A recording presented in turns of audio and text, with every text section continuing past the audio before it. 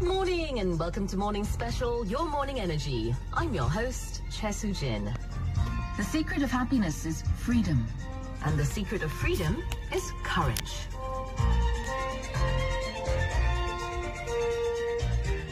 행복의 비밀은 자유에 있습니다. 그리고 자유의 비밀은 용기입니다. 네, 이 말은요, 미국의 작가 차리 존스가 한 말인데요.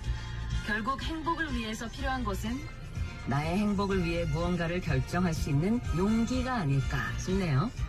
The secret of happiness is freedom. And the secret of freedom is courage. 오늘은 나의 행복을 위해 아주 사소한 것부터라도 용기를 내보아요. 6월 3일 금요일 오늘의 주요 헤드라인부터 전해드리겠습니다.